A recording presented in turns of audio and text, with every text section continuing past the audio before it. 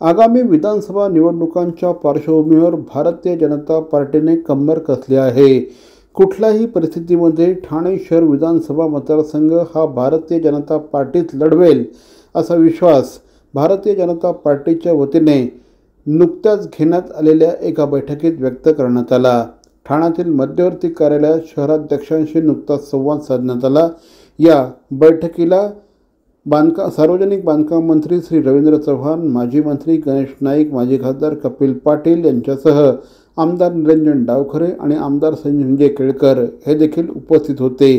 गेल्या काही दिवसांपासून मित्रपक्षांकडनं ठाणे शहर विधानसभा मतदारसंघावर दावा सांगितला जात आहे. मात्र कुठल्याही परिस्थितीमध्ये ठाणे शहर विधानसभा मतदारसंघ हा भारतीय जनता पार्टीत लढवेल याकडे कार्यकर्त्यांनी लक्ष द्यावं कार्यकर्त्यांनी अगदी घराघरापर्यंत पोहोचावं प्रत्येक मतदारापर्यंत पोचून भारतीय जनता पार्टीची भूमिका स्पष्ट करावी. पंतप्रधान नरेंद्र मोदी यांनी केलेली विकासाची कामं राज्य सरकारने केलेली विकासाची कामं ही घराघरापर्यंत पोहोचवावी.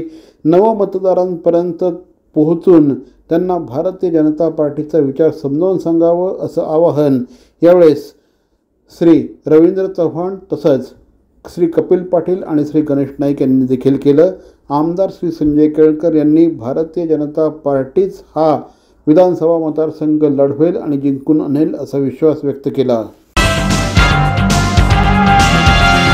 C P Goenka International School nurturing talent at young age for scholastics sports and performing arts in global perspective Proud to have world toppers and country toppers in 10th standard Cambridge examinations.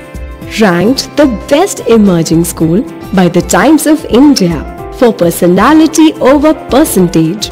CP Goyanka is the intelligent choice.